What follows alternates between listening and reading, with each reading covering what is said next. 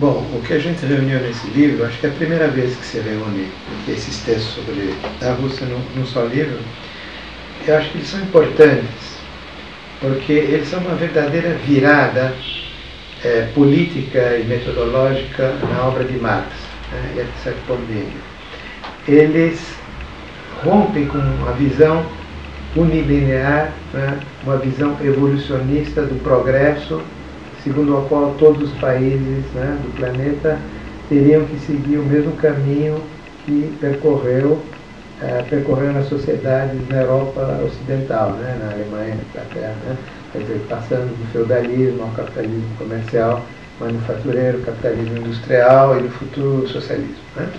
Então, essa visão eurocêntrica e, e digamos, evolucionista do, do progresso, né, Bom, é, esses textos, a carta né, do, do Marx, a, aquele jornal Zapisky, né, jornal russo, é, a, e sobretudo a carta da Eretz com todos os borradores, etc., um conjunto de materiais, né, apontam uma, uma visão diferente. Né, uma visão muito interessante porque ela prefigura um pouco o que vai acontecer no século XX. Né, isto é, Marx levanta a hipótese de que as revoluções vão acontecer na periferia.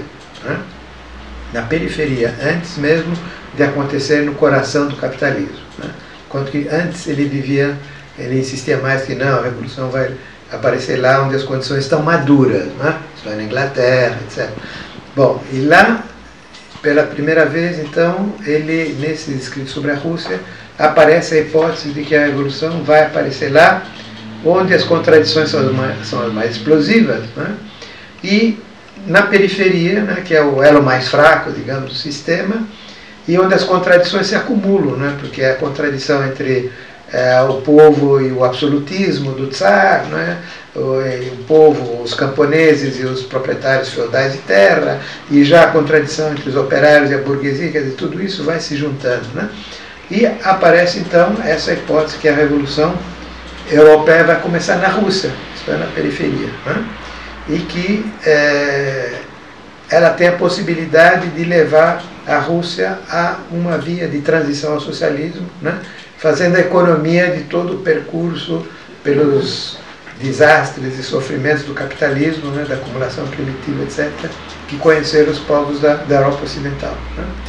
Bom, e de certa maneira, Marx tem a intuição do que vai acontecer, né, da Revolução Russa. Claro, não exatamente, não da mesma forma, né, mas ele tem essa, essa intuição e ele rompe né, com uma visão economicista de que a Revolução resulta do, do desenvolvimento das forças produtivas, né, bom, aquela visão né, da, eh, da madureza, né, como se a Revolução fosse um fruto maduro que vai cair sozinho. Né.